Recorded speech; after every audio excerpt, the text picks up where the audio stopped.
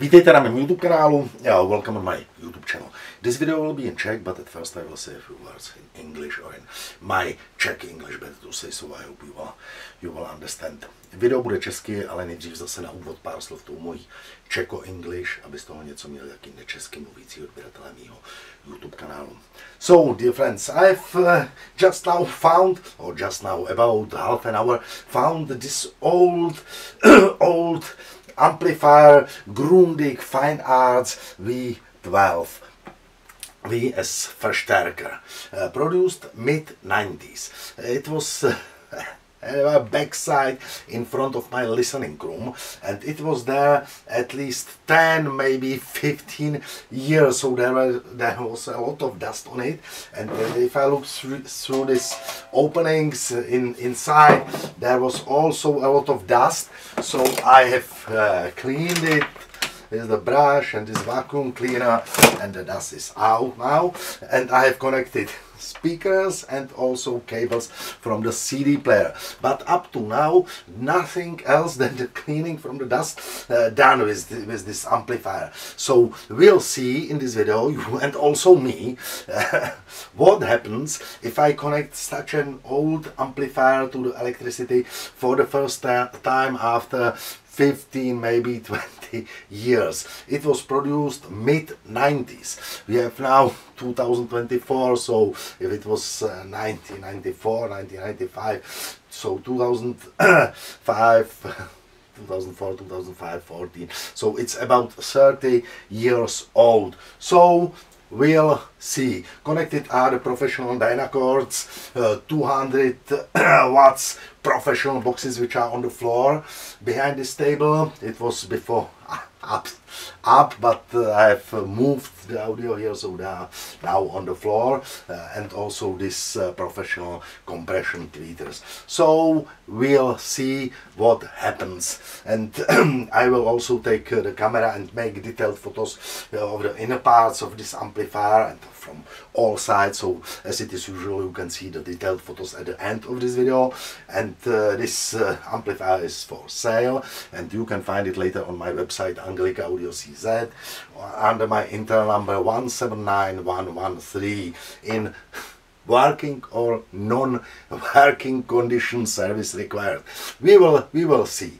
So uh, thank you for watching thank you for subscribing my youtube channel and now i will go on and check Tak, přátelé, jak jsem říkal tou můj Čeko English, já jsem našel teď, asi před půl hodinou, před tři čtvrtě hodinou, když jsem něco přestěhovával tam vzadu před tou slechovkou, tak v zadních řadách mě tam vyplaval tenhle ten starý eh, zesilovač Grundig Fine Arts V12. Vyráběný zhruba v polovině 90. let, eh, protože to tam bylo vzadu až u země, tak totálně zaprášený, takže štětce, vysavač, vyluxováno, ne úplně pinktlich, prostě tip top, ale prostě takový ty chuchvalce prachu tam byly, takže ty jsou už teď pryč, ale není to dočištěný, prostě les, bles, mě takovýhle věci prostě nebaví se tam pidlat úplně, úplně do detailu, ale prostě ty hlavní nánosy prachu, prachu už jsou, už jsou pryč, jenom upozorním, bacha, eh, to zařízení je na prodej a určitě do toho třeba polezete, tak šroubečky jsou na tu hvězdičku, jo. Naštěstí Forichtung mám, takže to šlo povolit naprosto, naprosto bez problémů. Připojil jsem Reprobedny, ty profi dynakordy, co jsou na podlaze, jak vždycky komentuju, dřív byly vejš, k ním jsou tyhle ty tlakové vejšky a kabely od CD přehrávače. A uvidíme, co se stane, když se zařízení zapne po asi milionu let e, do sítě. Takhle vyráběný zhruba v půlce 90. 94, 95, 96, máme 2024 až je 30 let starý zesilovač. Jo? E, nevypadá špatně, já ho ještě budu muset trošičku e, dočistit, protože doopravdy jsem jenom, jenom jsem to oprášil. Ale uvidíte, uvidíme, co se stane, když se to zapne asi po milionu let do sítě. Takže zatím to nemáme v síti. Tady ani napětí, když je to z roku 94-95, tak ani napětí kontrolovat nebudu. Volume máme doleva, šup. Doufám, že se nevyhodím pojistky v celém baráku. Knoflík Power. Svítí. Svítí, cvak. Dobrý, to vypadá jako, že jo. E, já jsem to dal do vstupu CD, dáme CD. předpokládám, že jsem to dal CD do vstupu CD úplně automaticky. Tak, pustíme CD přehrávač, co je tady pod pultem. Ptáte se mě vždycky, co to je za skladby v komentářích. Eh, některý se líbí, některý míň. Každopádně jsou to skladby stažené z YouTube knihovny z důvodu autorských práv.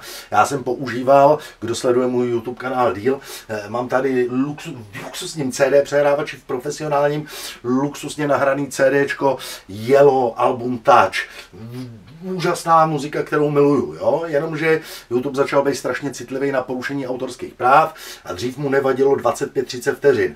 Pak uh, se začal blokovat zvuk a teď v podstatě je schopný identifikovat porušení autorských práv při skladbě delší než nějakých 5-6 vteřin.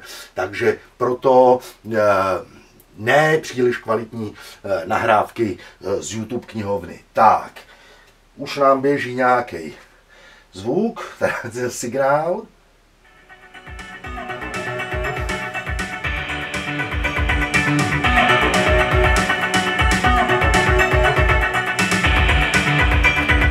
Výborně, dobrý. Ale má to tady někde nějaký ovládání balance? Něco odklápí se? Ale tady se asi nic neodklápí. Každopádně oba dva kanály hrajou stejně hlasitě. Dáme tam tu osmičku, jo, tu já mám rád, to je eh, dynamická basová. 2, 3, 4, 5, 6, 7, 8. Skočila mi devítka, skočila mi devítka.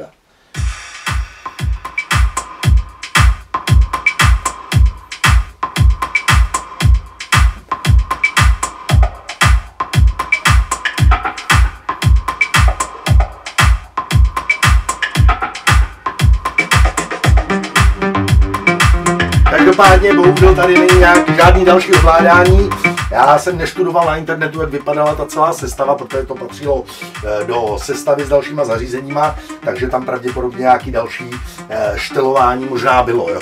Tady v podstatě zapnu a jediné, co můžu, je pouze, eh, pouze regulovat hlasitost. To DCC vůbec nevím, co je.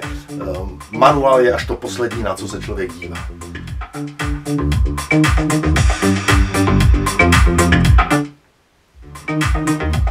Neprská, zvukově výborný. Žádný STK, samostatný transistory.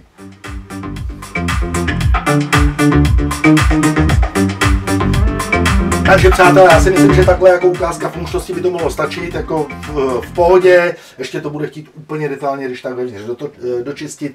Zařízení je určený do prodeje, bude vystavený u mě do prodeje na bude vystavený do prodeje u mě na webu angelikaudio.cz v rubrice zesilovače HIFI pod mým pořadovým číslem 179 113. To nalepím tady e, na ten kryt. A vemu foťák a udělám e, detailní fotky jak vnitřních částí zařízení, tak ze všech, ze všech stran. Takže pokud někdo chce e,